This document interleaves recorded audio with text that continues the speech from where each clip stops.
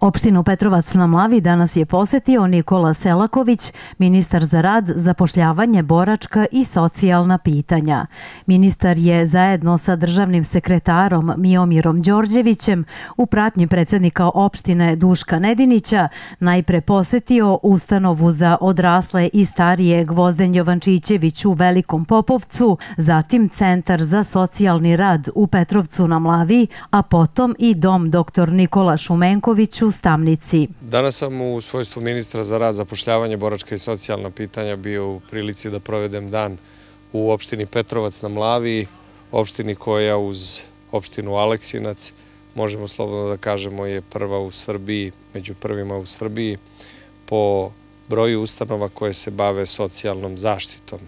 Obišli smo Centar za socijalni rad, ali i ustanovu za smeštaj odraslih lica u Velikom Popovcu evo nas ovde sada u Stamnici u domu za decu i omladinu sa teškoćama u mentalnom razvoju, odnosno zdravlju. Ovo su dve ustanove uz Centar za socijalni rad koje rade izuzetno važan posao, ali i u kojima ljudi rade veoma težak i odgovoran posao. Ovaj ovde dom u Stamnici nastao je u paviljonima koje su nekada koristili rudari rudnik je ugašen, ostali su paviljoni koji su svojevremeno preuređeni, ali danas u njima rade socijalni, stručni radnici, negovatelji, medicinsko osoblje, koji, boga mi, rade ozbiljno rudarski posao. I upravo koristimo ovu priliku da tim ljudima i svim njihovim koleginicama i kolegama širom Srbije koji rade u ovakvim ustanovama, a više je od 70 ustanova za smeštaj korisnika u našem sistemu socijalne zaštite odam priznanje na onome što rade. Ministarstvo za rad, zapošljavanje, boračka i socijalna pitanja zaključno sa ovom godinom od 2021. zaključno za 23. uložilo je samo u ove dve ustanove preko 150 miliona dinara.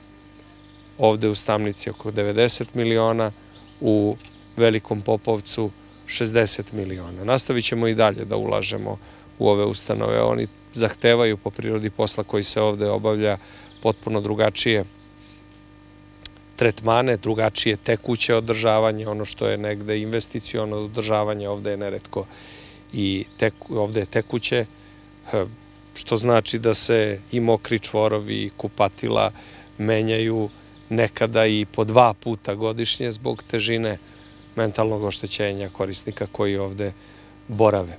Ono što je za nas izuzetno važno i što mogu da kažem ohrabruje zaposlene u oblasti socijalne zaštite jeste i najava predsednika Vučića da će ljudi koji čine ovaj sistem, koji rade veoma težak, zahtevan i odgovoran posao biti obuhvaćeni povećanjem zarada i mogu da kažem da sam i od jutros imao više poziva ljudi iz našeg sistema koji su zbog toga i, mogu da kažem, izrazili jednu vrstu zadovoljstva. Naravno, kada pogledate koji posao ovaj ljudi rade, koliko to posao koji prvo zahteva veliko srce i dušu kod čoveka, pa onda sve ostalo, to je nešto što ne možete da platite. Ali trudit ćemo se da korak za korakom, kako naša ekonomija napreduje, kako Srbija privredno napreduje, finansijski jača, da i za ovaj segment, ozbiljen segment naše države i našeg društva obezbedimo dovoljno sredstava za njegovo neometano funkcionisanje, ali i dovoljno sredstava za zaposlene koji u njemu rade. Takođe, koristimo ovu priliku da pohvalim i opštinu Petrovac na Mlavi i predsednika opštine zbog pažnje koju pridaje sistemu socijalne zaštite, ustanovama koje ovde rade.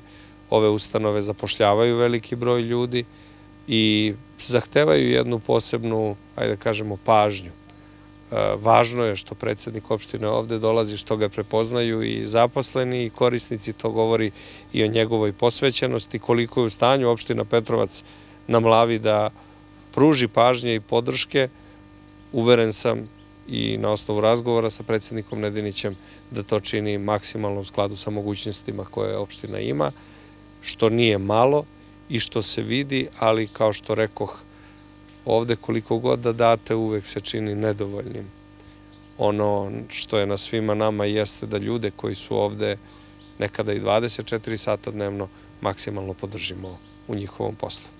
Ministarstvo za rad, zapošljavanje, boračka i socijalna pitanja je od 2021. godine, zaključno sa 2023. u ustanove u Velikom Popovcu i Stamnici uložilo više od 150 miliona dinara i nastavit će i dalje sa ulaganjima kako bi sistem socijalne zaštite bio još više unapređen.